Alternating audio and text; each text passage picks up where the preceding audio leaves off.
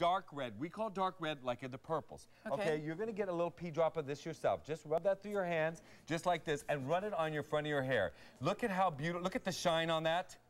Is that amazing? Wow. Look how beautiful that is. Now, can you imagine going out and your hair has that brilliant shine to it just like that? Look at how gorgeous.